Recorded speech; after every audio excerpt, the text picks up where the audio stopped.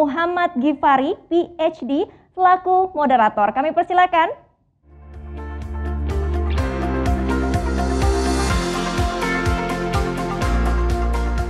Halo, Pak Gifari, apa kabar? Halo, selamat siang. Baik-baik, bagaimana kabarnya? Alhamdulillah baik. Pak Gifari, udah makan siang belum? Sudah, sudah. Oke, mantap. Baik, kalau gitu langsung saja saya persilakan Pak Gifari. Baik, terima kasih. Uh, selamat siang Bapak Ibu semua. Uh, Assalamualaikum warahmatullahi wabarakatuh. Salam sehat dan sejahtera bagi kita semua. Sebelumnya perkenalkan saya Muhammad Gifari, selaku moderator yang akan memandu sesi kali ini. Senang sekali saya dapat hadir pada uh, acara Merk Life Festival hari ini mendampingi narasumber kita uh, yang sangat luar biasa ya untuk uh, berbagi ilmu, pengetahuan dan pengalamannya kepada kita semua. Jadi topik diskusi dan sharing pada siang hari ini adalah Go Beyond Life of 4.0 with Artificial Intelligence. Tadi seperti yang disampaikan bahwa memang peran AI dewasa ini uh, semakin uh, terasa dan juga semakin penting ya. Juga di uh, apa namanya di trigger dengan um, transformasi digital yang terjadi di semua lini di berbagai ekosistem sehingga salah satu barangkali by product ya dengan transformasi digital ini adalah ketersediaan data yang begitu besar yang menjadi salah satu uh, faktor penting ya untuk perkembangan AI ataupun machine learning gitu ya untuk menyediakan solusi-solusi atau layanan-layanan digital yang bisa uh, memudahkan uh, kehidupan kita semua gitu ya. Jadi ini selain itu pandemi ini juga telah mengakselerasi program uh, Making Indonesia 4.0 sehingga peningkatan penguasaan teknologi dan adopsi teknologi perlu terus untuk dilakukan gitu ya. Uh, terutama ya tentunya kita mesti terus mempersiapkan talenta-talenta di bidang teknologi sehingga kita bisa terus uh, menyesuaikan ataupun uh, menyediakan uh, apa yang memang dibutuhkan dalam konteks uh, uh, teknologi yang nantinya tentunya untuk memudahkan kehidupan kita dan memper uh, uh, yang memperbaiki lah humanity lah kira-kira seperti itu ya. Dan pada siang ini telah hadir bersama kita sebagai narasumber Profesor Dr. Insinyur Bambang Rianto Trilaksono. Barangkali saya ingin menyapa dulu Prof Bambang. Uh, selamat siang Prof Bambang, bagaimana kabarnya Prof? Mungkin bisa di-unmute dulu barangkali Prof Bambang. Eh, selamat siang, eh, Alhamdulillah eh, baik-baik Pak Gifari. Baik, ya Prof. Bambang Rianto Triakusan ini dilahirkan di Banyuwangi ya Prof ya, tanggal 15 November 1962, mendapatkan gelar sarjana di bidang teknik elektro ITB pada tahun 86 dan gelar master dan doktor berturut-turut pada tahun 91 dan 1994 dalam bidang teknik elektro dari Waseda University di Jepang. Saat ini beliau adalah guru besar di STI ITB dan Direktur Advanced Robotics Lab serta salah satu founder juga nih dari uh, Pusat Artificial Intelligence ITB. Dari tahun 2015 hingga 2020, uh, Prof. Bambang ini juga mendapat amanah ya, tugas sebagai Wakil Rektor Bidang Riset, Inovasi, dan Kemitraan di ITB. Prof. Bambang ini adalah uh, juga Research Fellows dari University of New South Wales, Australia, dari tahun 2012 hingga sekarang dan juga beliau sudah banyak sekali nih publikasinya lebih dari 50 artikel di jurnal internasional yang terindeks Scopus ya. Dan beliau juga merupakan founder dari beberapa startups, salah satunya dalam bidang AI yaitu riset kecerdasan buatan yang mengkhususkan pada pengembangan produk dan layanan berbasis computer vision ya dan sudah digunakan juga di berbagai uh, bidang ataupun industri. Dan juga ya Prof Bambang ini merupakan salah satu anggota tim strategi nasional kecerdasan artifisial dan memimpin juga tim task force nasional untuk deteksi COVID-19 di bawah koordinasi BPPT yang sekarang melebur menjadi BRIN ya Prof ya. Jadi ini sungguh beruntung sekali nih kita semua kali ini kehadiran Prof Bambang yang berkenan membagi ilmu dan pengalamannya terutama terkait AI. Barangkali untuk itu waktu dan layar eh, kami persilakan Prof Bambang untuk menyampaikannya.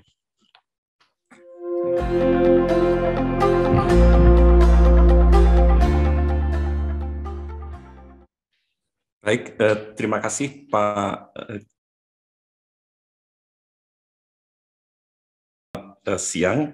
Assalamualaikum warahmatullahi wabarakatuh. Salam sehat untuk kita semua. Jadi eh, izinkan pada eh, hari ini saya akan memaparkan tentang eh, artificial eh, intelligence eh, dengan judul Go Beyond a Life of 4.0 with uh, Artificial uh, Intelligence. Next, barangkali. Jadi um, secara ringkas uh, kita akan membahas tentang apa itu artificial intelligence. Dalam bahasa Indonesia biasanya diterjemahkan sebagai kecerdasan artifisial atau kecerdasan buatan. Lalu mengapa eh, AI itu diperlukan dan eh, kita akan sedikit eh, membahas tentang salah satu paradigma yang yang penting di dalam AI yang berkembang Eh, dalam beberapa tahun terakhir ini yaitu machine learning dan deep learning. Lalu melihat lebih lebih lanjut eh, aplikasi AI dalam eh, berbagai bidang khususnya juga yang terkait dengan bidang healthcare. Lalu AI dan dan robotics itu juga akan kita singgung sedikit dan kemudian kita akan bahas bagaimana pengembangan AI di di Indonesia dan implikasinya di masa depan. Next. Jadi uh, apa itu AI? Uh, ada beberapa barangkali definisi dari dari AI, tetapi pada dasarnya AI adalah salah satu bidang di dalam uh, computer science gitu yang mempelajari tentang cara bagaimana kita membuat uh, komputer uh, itu dapat bekerja lebih cerdas sehingga katakanlah mendekati kecerdasan manusia. Jadi dengan kecerdasannya manusia dapat mengenali apa yang kita lihat melalui indera mata kita, kita dapat memahami ucapan yang diberikan oleh oleh orang lain, eh, kita dapat apa, mengenali pola dari dari data dan kita dapat mengambil keputusan gitu dari data-data yang uh, diberikan kepada kita. Eh, berikutnya, next. Jadi AI um, sangat uh, berkembang uh, dewasa ini dan salah satu survei dari McKinsey mengatakan bahwa pada tahun 2030 uh, itu AI akan mengcreate value itu sebesar 13 uh, triliun US dollar begitu dalam dalam berbagai bidang terutama bidang yang terkait dengan dengan logistik, dengan transportasi, dengan healthcare, oil and gas dan beberapa bidang yang yang lain termasuk dalam bidang travel gitu yang disebut-sebut juga banyak menerapkan artificial intelligence. Next.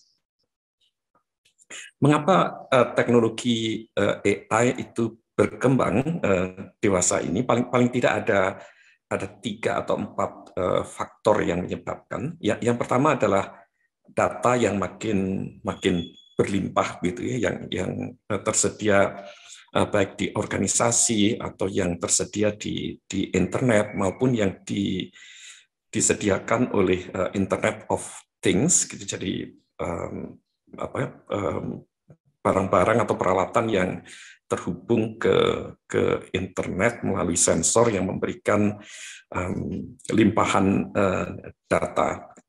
Kemudian algoritma yang makin baik, jadi algoritma adalah uh, satu prosedur step by step untuk memecahkan uh, masalah yang uh, biasanya kemudian di, diprogram uh, untuk menghasilkan satu satu perangkat lunak atau atau uh, aplikasi. Dan algoritma uh, AI dewasa ini makin uh, berkembang secara baik. Lalu ketersediaan um, platform komputer um, baik dalam bentuk CPU maupun dalam bentuk GPU, graphical processing unit yang makin uh, powerful dan di sisi lain juga aplikasi dari AI itu sendiri yang makin makin beragam. Uh, jadi akan uh, apa ada ada interaksi begitu antara aplikasi yang makin beragam dan uh, teknologi AI yang yang diperlukan untuk memecahkan berbagai macam persoalan yang ada di dalam bidang-bidang tersebut. Next. Timeline dari dari AI sebenarnya sudah cukup lama ya dengan dengan Turing test pada tahun uh, 50 gitu. Tapi perkembangan yang yang apa yang uh, cepat itu kita uh, amati dalam um, uh, katakanlah satu dua dekade uh, terakhir ini gitu yang uh, antara lain um, di apa dicirikan oleh beberapa uh, perkembangan uh, teknologi Eh, seperti misalkan uh, eh, IBM uh, eh, Watson, kemudian Eugene, uh, Alexa, produk dari dari Amazon yang dapat mengenali uh, suara manusia, lalu um, uh, perkembangan yang terkait dengan kemampuan AI untuk mengalahkan uh, juara dunia dalam dalam AlphaGo, uh, satu satu permainan uh, di mana AI itu untuk uh, pertama kalinya pada tahun 2017 itu dapat mengalahkan uh, juara dunia dalam permainan uh, AlphaGo. Ini satu pencapaian yang yang uh, luar biasa. Next. Nah, um, dalam uh, dua dekade yang yang terakhir ini um, berkembang paradigma yang yang um, apa menjadi um, paradigma yang dominan di dalam di dalam artificial intelligence gitu yang dikenal sebagai mesin uh, learning dan ke kemudian uh, sekitar satu dekade terakhir ini itu berkembang apa yang disebut sebagai deep learning. Pada dasarnya um, mesin learning adalah satu cara di mana kita bisa membuat komputer itu atau atau eh, perangkat lunak katakanlah demikian eh, itu dapat menjadi pintar begitu dengan kita memberikan eh, contoh contoh begitu yang yang kemudian dengan algoritmanya itu kita bisa menghasilkan apa yang disebut sebagai model mesin learning gitu yang dapat digunakan untuk memecahkan masalah-masalah tertentu. Next. Jadi um, mesin learning itu um, ada yang bersifat uh, unsupervised atau atau tidak ada yang mengajari, tetapi yang um, banyak banyak berkembang uh, dewasa ini yang disebut sebagai supervised learning. Jadi uh, ada katakanlah semacam um, label atau anotasi yang secara manual kita kita berikan terhadap terhadap data dan kemudian dengan data dan dan anotasi itu kita uh, ajarkan kepada uh, kepada komputer sehingga uh, komputer itu dapat menjadi um, pintar untuk memecahkan masalah tertentu misalkan mengenali uh, objek uh, dari dari foto mengenali satu uh, video tertentu atau mengenali ucapan atau mengenali Eh, apa yang tertulis di dalam eh, di dalam dokumen dan eh, beberapa yang lain termasuk untuk melakukan prediksi. Berikutnya, next. Secara ringkas kita dapat mengajari komputer gitu untuk untuk menjadi lebih pintar melalui data uh, training gitu. Jadi misalkan kita punya koleksi dari dari dari foto dan uh, kelompok dari pesawat terbang, dari mobil, dari burung, kucing dan sebagainya ini kita kita ajarkan ke ke komputer gitu ya dengan dengan uh, kelasnya gitu atau dengan anotasinya. Dan kemudian um, setelah uh, dengan algoritma mesin learning atau atau deep learning eh, komputer itu menjadi lebih pintar gitu kemudian kita bisa bisa menguji dengan data yang baru gitu jadi katakanlah kita punya foto yang yang baru begitu tentang tentang kucing atau tentang tentang mobil itu ya kalau um, algoritma mesin learning kita itu sudah berjalan dengan baik uh, maka dengan kemampuan tadi komputer itu dapat mengenali bahwa objek yang di, diperlihatkan itu katakanlah merupakan objek kucing atau objek mobil. Berikutnya. Nah, deep learning itu dikembangkan dari cara bagaimana otak manusia atau makhluk hidup itu bekerja dan fakta bahwa otak manusia itu terdiri dari miliaran neuron, lalu neuron-neuron tadi itu kita modelkan dan diinterkoneksikan satu dengan yang lain, membentuk apa yang disebut sebagai deep uh, neural uh, network. Jadi kita punya data input yang diberikan di sini dan uh, misalkan saja outputnya merupakan kelas atau prediksi dari dari data yang yang kita berikan dan dan ada satu proses pembelajaran yang yang diterapkan untuk mengubah uh, bobot-bobot yang ada di dalam uh, jaringan syaraf tiruan ini untuk meniru apa proses belajar yang yang biasanya dilakukan oleh manusia atau atau makhluk hidup. Next. Salah satu aplikasi yang uh, penting di dalam machine learning dan uh, deep learning uh, itu adalah computer vision. Jadi sebagaimana manusia dengan dengan menggunakan indera matanya itu dapat melihat objek-objek yang ada di sekitarnya, dapat memahami bahwa apa yang kita lihat itu adalah adalah buku, adalah meja, adalah jendela, pintu dan sebagainya. Maka komputer uh, dengan dengan menggunakan mesin learning dan dan deep learning tadi uh, itu uh, dapat dikembangkan untuk memiliki kemampuan yang yang mirip atau yang yang sama bahkan lebih lebih tinggi daripada apa yang bisa dilakukan oleh oleh manusia dengan dengan indera uh, matanya. Nah, bidang-bidang yang terkait dengan ini adalah klasifikasi citra. Jadi kalau diberikan satu foto tertentu, eh, kita ingin mengenali eh, melalui komputer ya, eh, apakah di dalam foto itu objek yang ada adalah objek kucing, anjing, atau pesawat terbang misalnya begitu, itu ada di dalam kelompok klasifikasi citra. Eh, selanjutnya adalah lokasi dan deteksi, lokalisasi dan deteksi objek. Jadi diberikan satu foto tertentu, maka komputer dengan apa dengan setelah diajarkan dengan machine learning atau atau deep learning itu dapat dapat mendeteksi eh, objek-objek yang ada di foto tadi. Jadi misalkan ya, ini adalah objek dari anjing, ini adalah objek dari kucing, dari buku dan sebagainya. Kemudian pengenalan aktivitas eh, secara visual, jadi diberikan satu video tertentu, eh, komputer dapat mengenali apa yang ada di dalam apa yang dilihat atau di capture oleh oleh Eh, video itu itu dan eh, katakanlah misalkan mengenali bahwa eh, video itu merupakan video dari seseorang yang sedang mengendarai sepeda misalkan.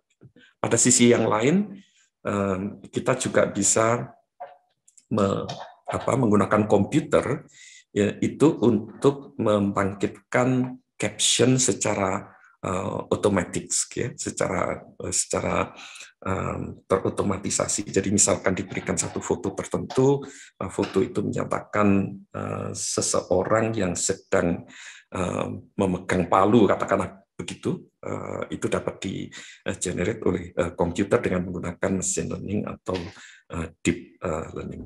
Berikutnya lebih jauh dari dari itu kita juga bisa Eh, dengan menggunakan machine learning dan deep learning eh, itu dapat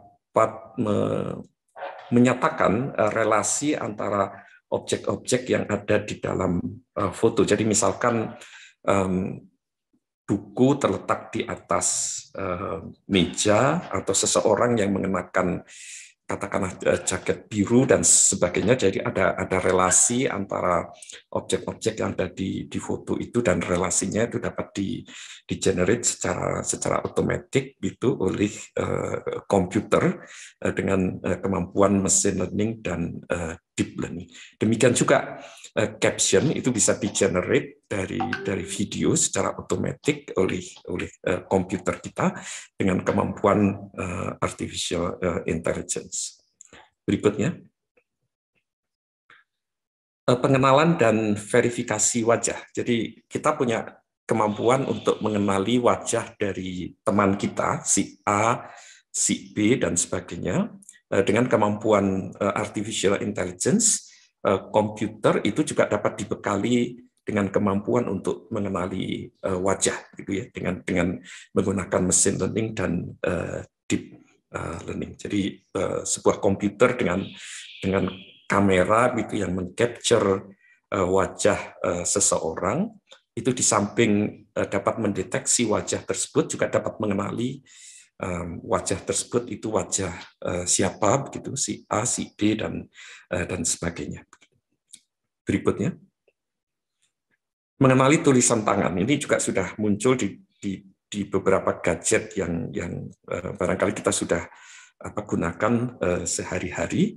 Jadi kita bisa menuliskan sesuatu di, di gadget kita, apakah tulisan tangan angka, apakah tulisan tangan huruf, dan kemudian dikonversi oleh uh, gadget kita itu ke dalam uh, bentuk uh, teks dan itu apa, dapat di dilakukan oleh komputer yang dibekali dengan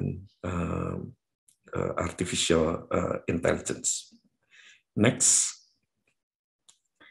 tanya jawab visual. Jadi diberikan satu foto gitu, lalu kita kita menanyakan sesuatu di situ Eh, jadi misalkan diberikan foto seperti ini eh, terbuat dari apa kumis dari orang yang ada di dalam foto itu misalkan lalu eh, sistem AI kita akan menjawab apa pisang misalnya begitu ya. Dan beberapa beberapa pertanyaan yang lain terkait dengan dengan apa foto. Berikutnya klasifikasi dari dari kendaraan. Jadi um, kita di, diberikan satu kamera yang uh, dipasang di tempat tertentu yang kemudian diarahkan ke uh, satu jalur lalu lintas tertentu dan kemudian uh, sistem AI kita itu dapat mengklasifikasi uh, kendaraan itu apakah uh, jenis jenis sedan, jenis truk, jenis uh, bus begitu dan uh, bahkan bisa di kembangkan lebih lanjut untuk uh, mendeteksi oh itu adalah kendaraan uh, Toyota tahun tahun 80, kendaraan Honda tahun uh, 90 dan seterusnya. Itu dapat dimanfaatkan untuk pengaturan lalu lintas di di tol terutama. Berikutnya. Um, search melalui um, image atau melalui foto. Jadi biasanya kita melakukan searching di di Google itu misalkan dengan teks, gitu, tapi kita juga bisa melakukan searching. ini contohnya di Bing begitu melalui foto atau citra dan kemudian hasil searchingnya adalah foto-foto yang yang mirip atau atau terkait dengan um, apa uh, keywords kita yang uh, dalam dalam bentuk uh, foto tadi. Gitu. Berikutnya.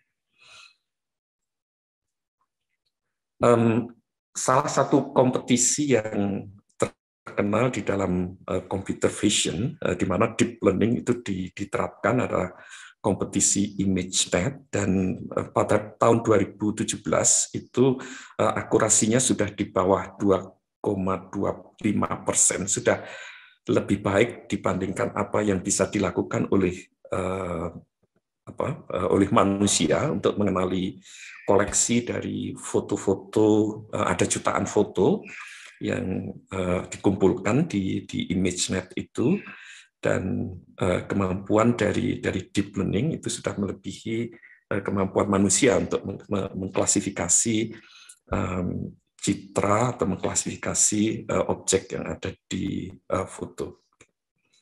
Berikutnya. Eh, pengenalan atau um, sintesis dari dari ucapan. Jadi kita mengenal Siri misalkan di di iPhone yang dapat mengenali uh, suara kita uh, itu juga dikembangkan dengan uh, artificial uh, intelligence gitu.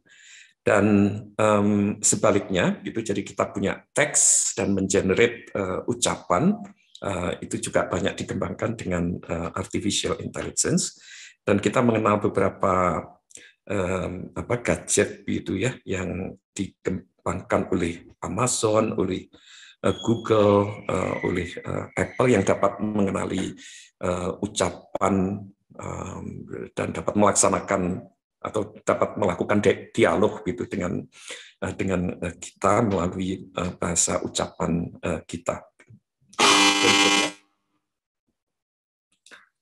Chatbot ini sudah banyak berkembang di di internet ya kita dapat melakukan um, apa dialog gitu dengan uh, dengan satu aplikasi uh, tertentu. Biasanya dalam dalam bidang uh, tertentu misalkan dalam bidang uh, kesehatan gitu dan dan chatbot memberikan respon terhadap uh, apa yang kita uh, kita dialogkan atau atau mungkin kita kita tanyakan uh, pada satu uh, sesi uh, tanya jawab tertentu berikutnya. Jadi uh, selain computer vision, tadi itu uh, pengolahan bahasa alami atau natural language processing merupakan satu uh, aplikasi yang sangat berkembang uh, dewasa ini karena penggunaan dari artificial intelligence, mulai dari yang sederhana deteksi dari spam di di, di email uh, box uh, kita sampai pada terjemahan mesin, misalkan Google Translate uh, dari dari bahasa Indonesia ke bahasa Inggris dan dan uh, sebaliknya, maupun yang terkait dengan um, aplikasi semacam Siri begitu ya, yang yang uh, kita bisa berdialog uh, dengan dengan uh, aplikasi tertentu atau dengan komputer seolah-olah komputer dapat memahami eh, apa yang kita eh, kita ucapkan. Next, AI untuk deteksi anomali, jadi berbagai macam anomali, apakah anomali cuaca atau anomali dalam dalam apa dalam kaitannya dengan mendeteksi serangan pada satu eh, jaringan eh, komputer atau adanya anomali pada pada lingkungan di uh, lalu lintas itu dapat dideteksi dengan baik oleh oleh artificial intelligence. Demikian juga anomali-anomali yang terkait dengan adanya kejahatan di Eh, katakanlah misalkan eh, transaksi di kartu kredit yang dihack begitu saat ini eh, AI diterapkan untuk melakukan deteksi terkait dengan kejahatan pada transaksi di kredit card. Berikutnya, salah satu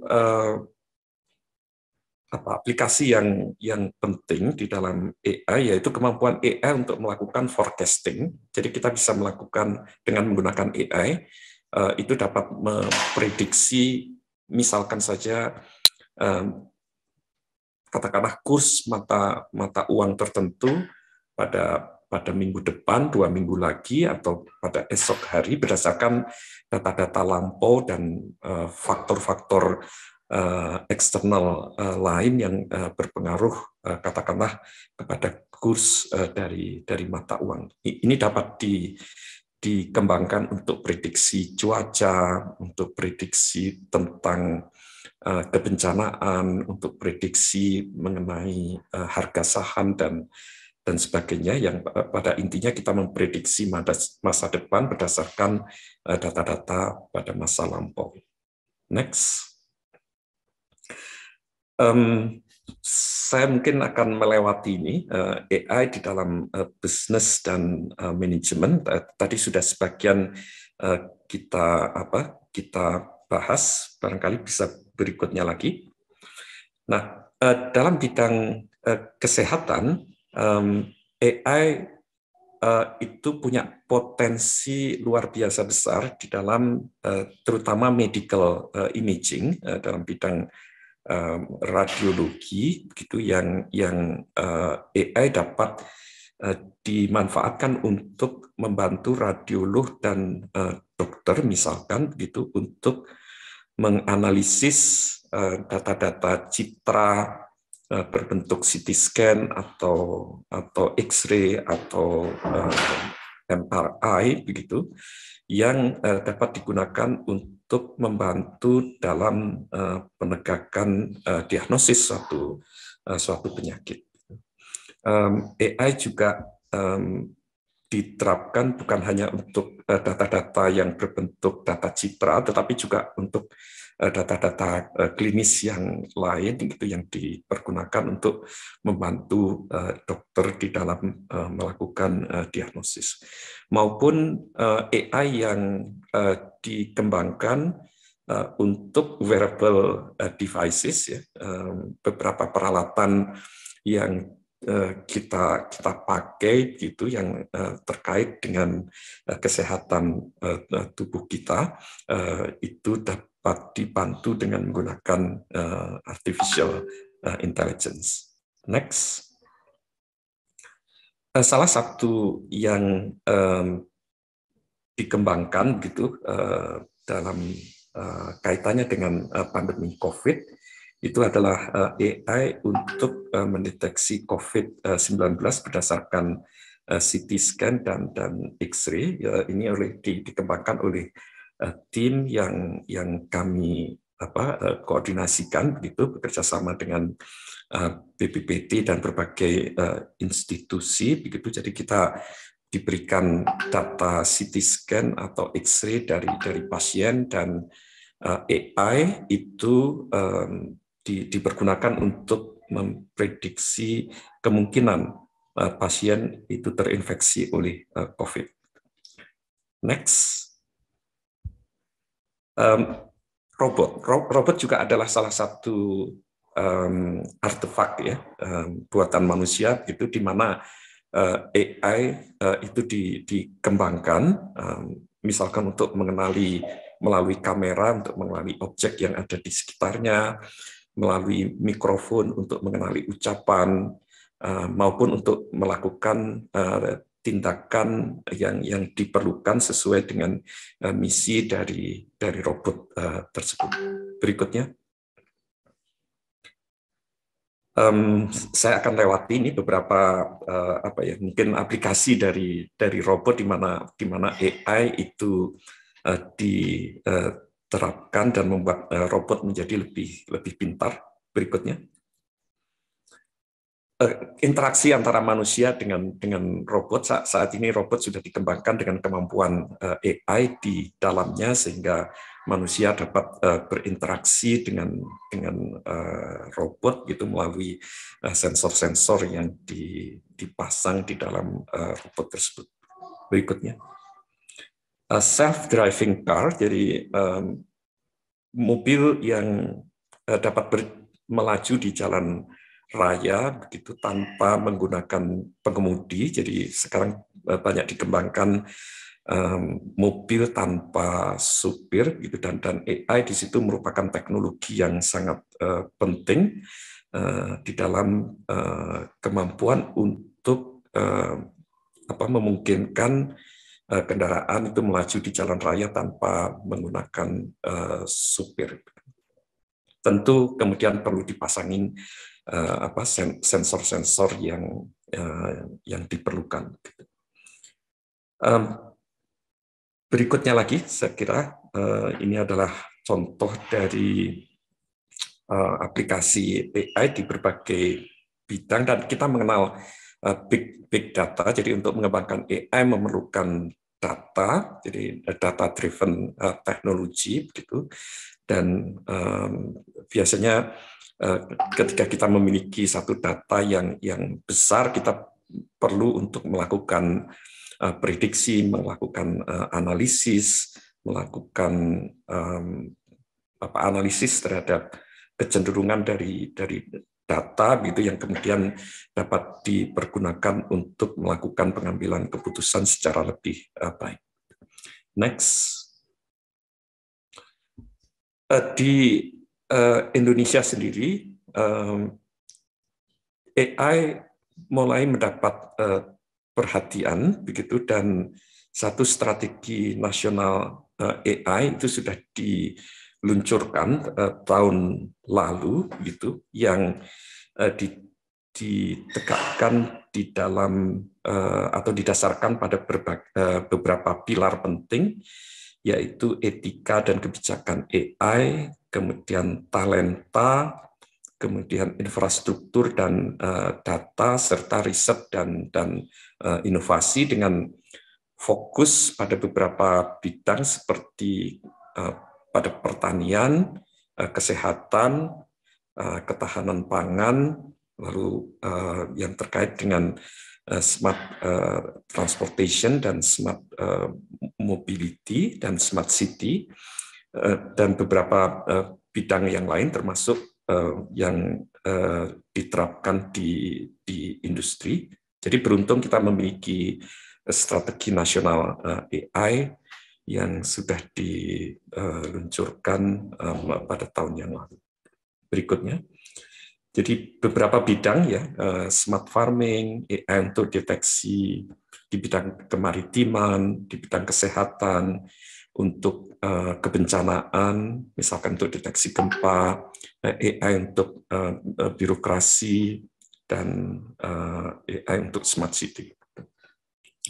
Berikutnya, Um, saya kira saya lewati ini um, berikutnya lagi. Jadi um, di samping ada potensi uh, eh, AI juga dipandang uh, memberikan ancaman. Ya.